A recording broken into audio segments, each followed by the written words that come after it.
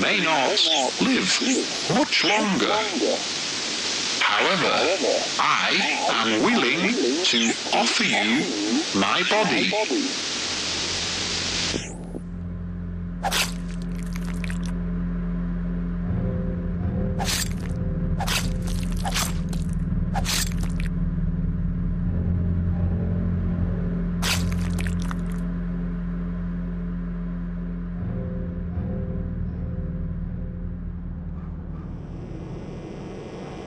Thank you.